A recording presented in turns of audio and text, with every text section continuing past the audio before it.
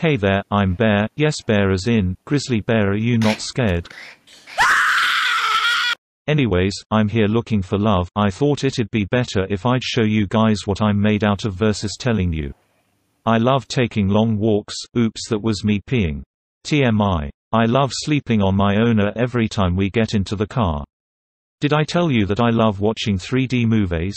Well I do. Also my favorite desserts are frappuccinos from Starbucks.